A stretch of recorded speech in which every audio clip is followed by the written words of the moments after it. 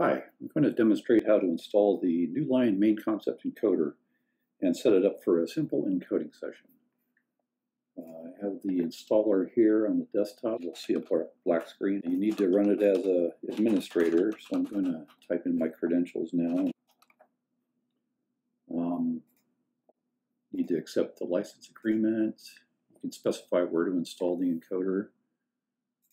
Uh, there's two services that can be installed. If you're running on a single machine, you would install both services.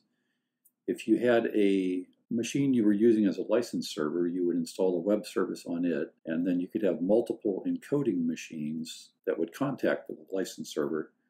Uh, and on each of those, you would install the encoding service. But on this, in this case, I'm installing both on the same machine.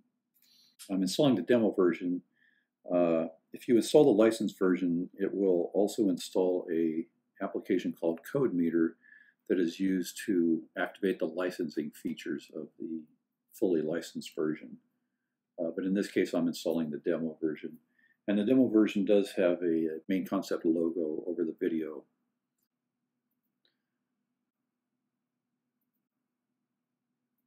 Now that it's installed, I'm going to start a browser and go to localhost colon 8080 slash login.jsp. That will bring up the main interface of the encoder.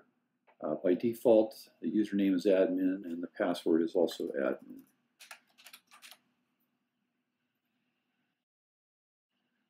Okay, so I'm going to go to the Jobs tab.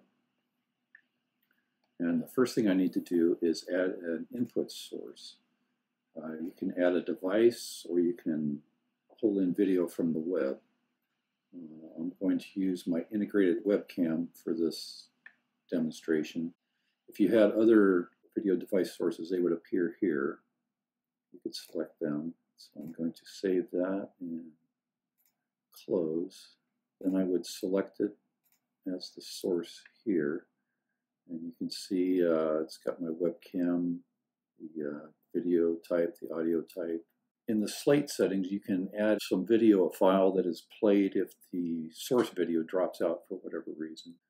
Uh, you can add some pre-processing options to the video and audio and select a different frame rate by default. I'm going to use the default frame rate. You can choose to deinterlace or not.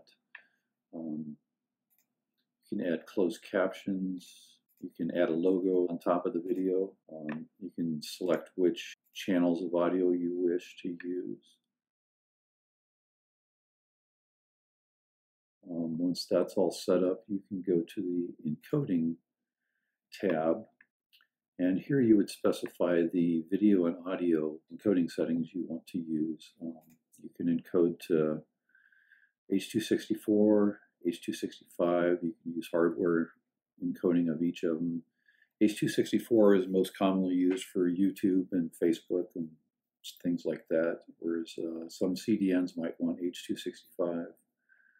Uh, for this example, we'll target YouTube and uh, they would want high profile, uh, variable bit rate, um, going to keep the aspect ratio, and use a bit rate of 5 megabits.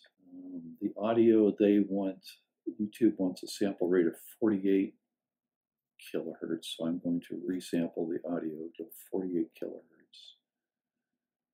Once you have all the encoding settings set up, you can go to the Output tab, saving the encoding settings.